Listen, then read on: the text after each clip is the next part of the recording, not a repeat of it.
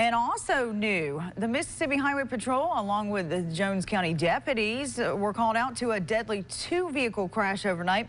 The crash happened on Highway 84 East at Masonite Lake Road. Investigators say one of the drivers died at the scene. The second driver was thrown from the vehicle and critically hurt. No other details have been released.